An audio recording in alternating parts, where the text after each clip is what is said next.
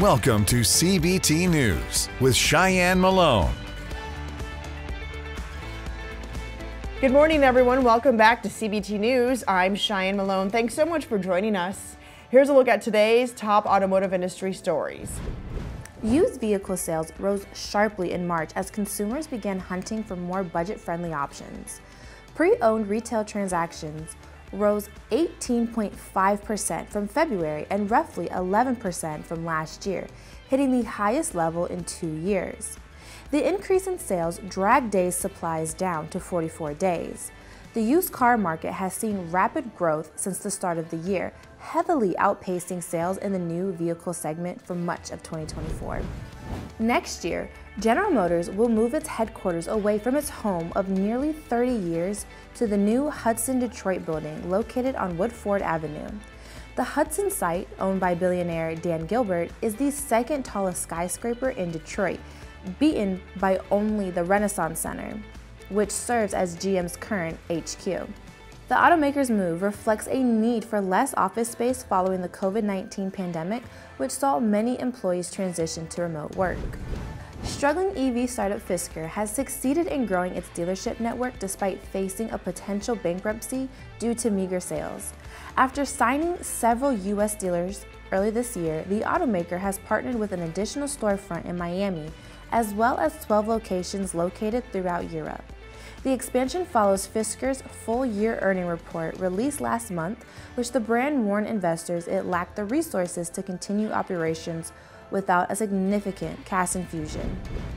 The gap between what car buyers are able to pay and what sellers are charging is shrinking, according to Cars.com 2024 affordability report. The digital retail platform says the new vehicles priced below the $30,000 mark is the fastest growing segment in the current market, dragging down average list price to a one-year low.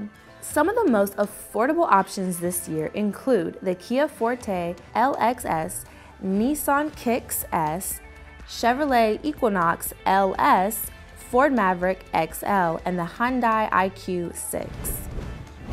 Don't go anywhere, we'll be right back with Ryan Haskell, Fix Op Director at Jeff Wyler Automotive Family, to discuss the modern auto technician's career path.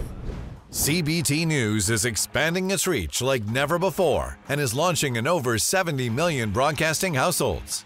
Whether you have Roku, Apple TV, or a mobile device running on Android or iOS, you can now enjoy our engaging, in depth interviews with dealers, automakers, trade associations, best selling authors, motivational speakers, and so much more, whenever and wherever you are.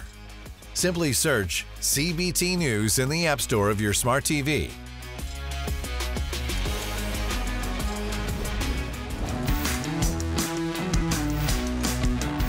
Consumers are holding on to their cars longer today, meaning you know they're visiting the service lane much more often. Are you seeing that to be the case where you are? You know, many of our customers are expressing a greater intention uh, to keep their vehicles for a longer period of time. Um, and that shift in mindset has resulted in a, a more strategic approach to their vehicle maintenance. Um, so while the growth of overall ROs uh, has been pretty flat this year, we are seeing uh, that services performed are often now more comprehensive mm-hmm. um, as customers are prioritizing longevity and reliability of their vehicles. Sure, sure. How are service advisors handling um, handling the increased business? I mean, sometimes they they don't get a chance to do walkarounds or spend much time with customers when the, that lane is so full. Yeah, I mean, so we have a strong team of service advisors um, that have a great process in place. Uh, and they were absolutely fond of the customers' willingness uh, to invest more in their vehicles um, as they're eager to please our customers and, and make sure we have the retention uh, for next year. Yeah, for sure. So, talk to me about the uh, the technician playbook that you've created. What what inspired you to put this together? Yeah, so I've been in the industry for about 20 years, um, and in this industry, it's kind of you know here's the keys, uh, here's a laptop, make it better uh, and and unfortunately, you know that's that's kind of how it's been. Yeah. Uh, so I recognize the importance for these entry level kids coming in uh, to kind of have a career path set up for them, something they could follow and, and track along the way to track their goals um, and where they want it to be.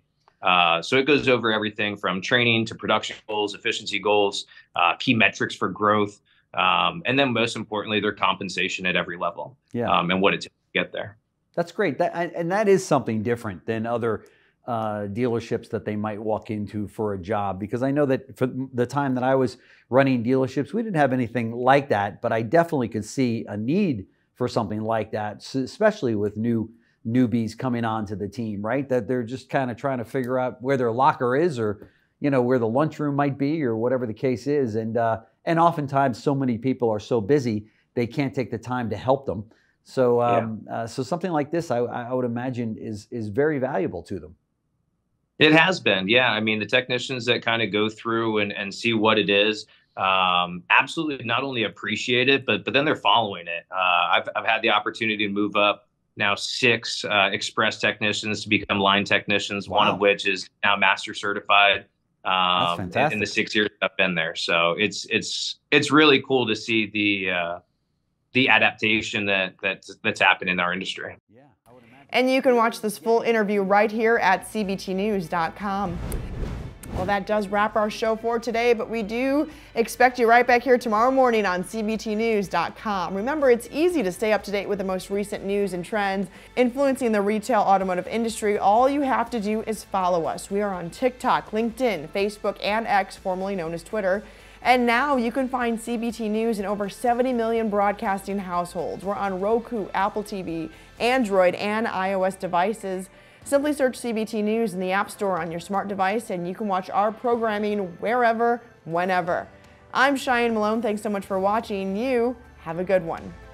CBT News, your number one resource for auto industry news and content.